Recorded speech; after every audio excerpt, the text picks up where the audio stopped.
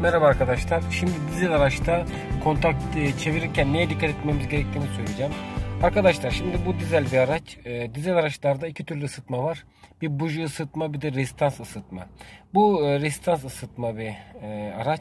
Şimdi arkadaşlar kontağı çevirdiğimiz zaman muhakkak araçların içerisinde şöyle bunda şöyle bir ışık var. Bu ışık söndü mü kontağı çeviriyoruz. Bazı araçlarda da e, ortalarında oluyor ya da komple, komple e, göstergeler gelmiyor. ısındığı zaman geliyor.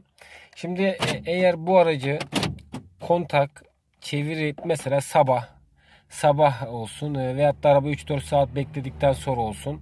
Şu anda bu araba sıcak. E, resistans ısınmasa bile sıcak olduğu için çevirdiğim an araç çalışır. Fakat sabah e, eğer ben bu aracın o ışığı sönmeden kontağı çevirirsem e, araç çok zor çalışır. Hemen çalışmaz. Çok zor çalışır ve bize maddi zarar açar. Şöyle ki eğer o ışığın sönmeden yani direkt kontağı çevirirsek yakacağımız şeyi göstereyim arkadaşlar. Yakacağımız şey budur. Bu rezistans arkadaşlar. Bu rezistans ısınıyor. Mozotu ısıtıyor. Ve o şekilde biliyorsunuz mozot soğuk çalışmıyor. Bu rezistans. Bu rezistans e, ısınınca mozot ısınıyor ve o şekilde ateşleme sağlıyor. Diye bazı araçlarda buji ısıtmalı dediğimiz sistemler var. Buji ısınıyor. Sonuçta her iki şekilde de ısınma süresi var. Bu kontağı çeviren arkadaşlar bakın gördüğünüz bu. Bu eğer rezistansı ısınmadan ısınıyor ve kendini bu kapatıyor. Mazot ısıttıktan sonra kapatıyor. Kontağı civ civ civ diye habire çevirseniz arabayı çalıştıracağım diye araba çalışmaz arkadaşlar. Çoğu arkadaşın sorunu bu. Kontağı direkt e, benzinli araçlarda çalışabilir. Benzinli araçlarda bile karbüratöre yani enjeksiyonlara mazo benzin püskürtme olayı var ama sonuçta benzinli araçlar çalışır. Fakat dizel araçlarda dikkat etmemiz gereken şey kontağı çevirdikten sonra araba soğuksa muhakkak bekleyin. Kontağı çeviriyoruz. Işığın sönmesini bekliyoruz. Resistans ısıtıyor mazotu.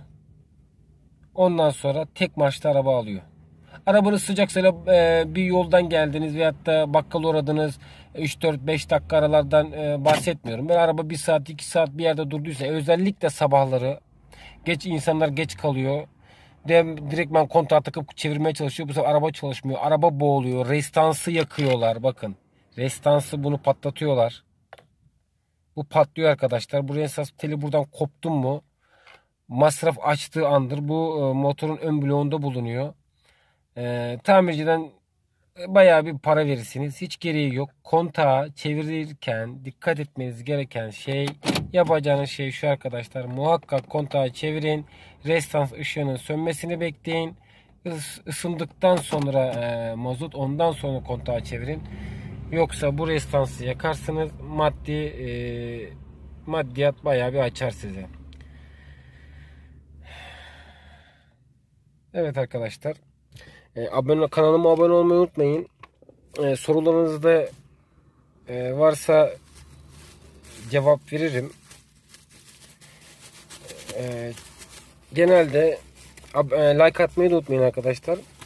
Dediğim gibi genelde e, dizel araçlarda e, zor çalışan araçlarda rezistans arızaları oluyor. Çok yaşanıyor bu. Onun için lütfen arkadaşlar kontağı çevirirken rezistans ışığının e, söndüğüne emin olun. Ondan sonra kontağı çevirin. Şimdilik bu kadar arkadaşlar. Görüşmek üzere. Hoşçakalın.